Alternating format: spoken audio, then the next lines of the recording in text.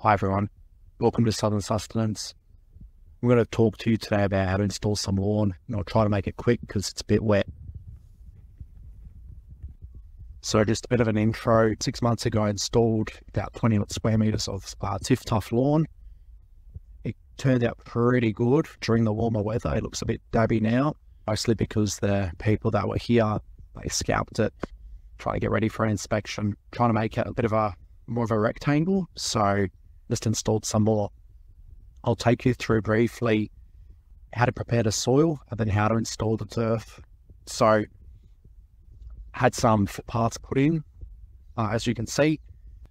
Other than the mechanical tools required for that, the rest of preparing the soil is all done by hand. So uh, using forks and spades and mattocks and the like, trying to remove rocks, and debris from the, the fork um, is probably your best bet. It is hard work, but all what happens is when when you dig into the soil, you can pull out chunks of of the uh, kikuyu without it breaking all apart in, into many pieces. So try to take it all out so it doesn't come through the new lawn that you put down. Um, so forks, very important. Then what you do is, uh, and I'll put pictures into this video so you can see, trying to put some gypsum down uh, to break up the clay and then some sandy loam and try to mix it all together. Maybe a bit of slow release fertilizer. Uh, the great thing about this particular lawn, for Stunray, is doesn't require the fertilizer. Uh, so it's a very good thing. But nonetheless, I just put some down because uh, I've got it.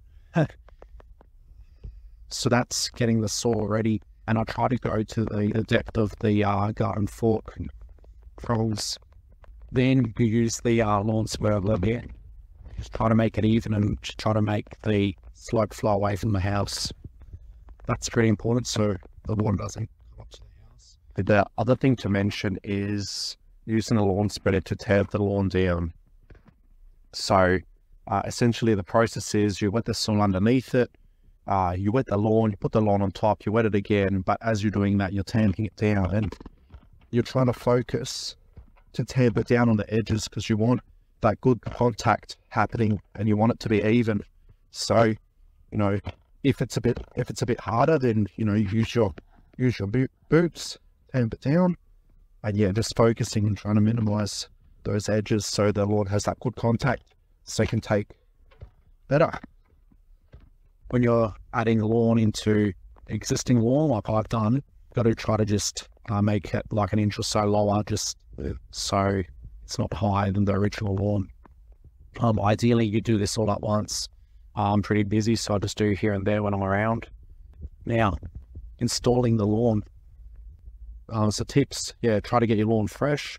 Uh, but when you install it, you know, you, you try to get the lawn bumped up together. So there are some gaps here, but yeah, you try to just try to make it um, as close as together as you can, and you can just use a spade or just even um, kitchen off to cut into the uh, to the pieces to make them all fit like a jigsaw. And you want to stagger them so you don't see lines and so they don't slip down and all that sort of stuff. So all all this is seven meters. I really only needed um, six square meters, but I ordered a bit extra just in case. The original one, six months old, the one I've just laid, uh, you know, I've laid it the beginning, middle of winter, lots of rain. So when I'm away, it'll survive.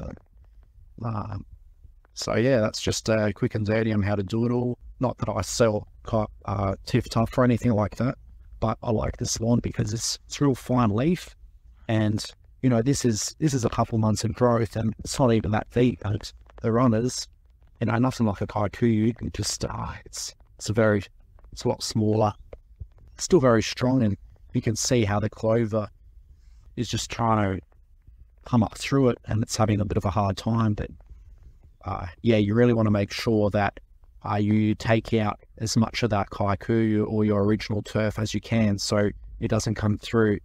In this particular case, you know, forked out the majority of it, and then went over another two or three times with the fork, just trying to go deep and just trying to find any any uh, staggering bits of uh, kikuyu that I could.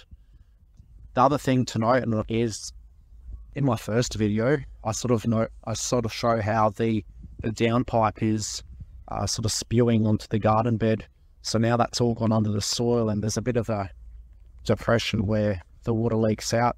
So it's all irrigating this, self irrigated. Uh, yeah, you don't want to step there when it's uh, too wet because you'll sink through, but you know, just trying to keep the water on the land. It's the name of the game. Uh, thank you for your time today, and uh, we'll see you around.